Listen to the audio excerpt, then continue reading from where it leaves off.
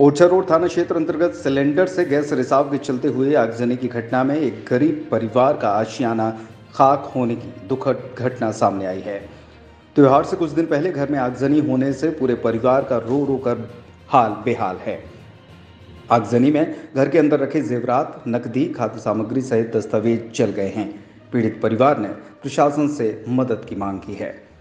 जानकारी के मुताबिक ग्राम रिक्शा पूर्वा निवासी छबीलाल पटेल की बहू सरोज बीती शाम करीब छह बजे घर के भीतर गैस सिलेंडर से खाना बनाने गई थी क्योंकि उसमें रिसाव हो रहा था और जैसे ही सरोज ने गैस चूल्हा जलाया, आग ने पूरे कमरे को आक्रोश में ले लिया।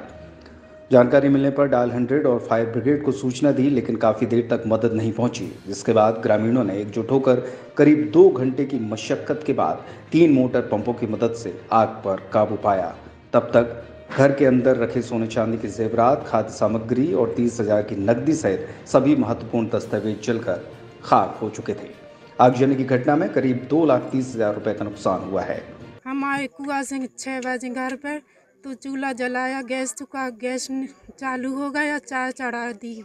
फिर ये आप शक्कर पत्ती डाल के हम अचानक से गैस में आग लगी चूल्हे से और हम हमने थोड़ी बुझाने की कोशिश करी सु, और ज़्यादा पानी डाला, कपड़ा भिंजे की डाली सु, और ज़्यादा आग बढ़ी। घर के आदमी बाहर सब निकल गए, हम भी बाहर निकल गए। एकदम से आगे ठाट में छुप गई, हम उनको सबने बाहर निकाल दिया। सब पूरा डेरा धरा था, एक ही कमरा में और पूरा सब जल गया जीव। शाम को क्या हुआ कि जैसे ही वो हमारी भाभी हैं खाना बनाने के लिए यहाँ आई, उन्होंने चूल्हा चालू किया, उस पर चाय चढ़ाई, इतने में आग पकड़ ली उसने सिलेंडर ने। फिर उन्होंने आध घंटे तक बहुत कोशिश की बुझाने की उसे, लेकिन आग नहीं बुझ पाई और इतने में गाँव के लोगों ने मतलब पुलिस को फ़ोन लगाया, फायर ब्रिगेड को फ़ोन लगाया, लेकिन वक्त पर यहाँ कोई नहीं आ पाया। इसलिए मतलब फिर गाँव के लोगों ने तीन पंप चालू करके आग पर बुझा आग बुझाई अपनी पंप चला के आग बुझाई यहाँ की।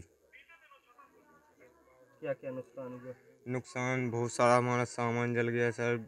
यहाँ बहुत कुछ सामान रखा था गेहूँ खाने पीने की पूरी रसोई जल गई सर। सोना चांदी पैसे ऐसे सर सारे कपड़े वपड़े सर सब जल गया। जी प्रॉपर्टी के सर पूरे सामान कागज़ सब डॉक्यूमेंट से सर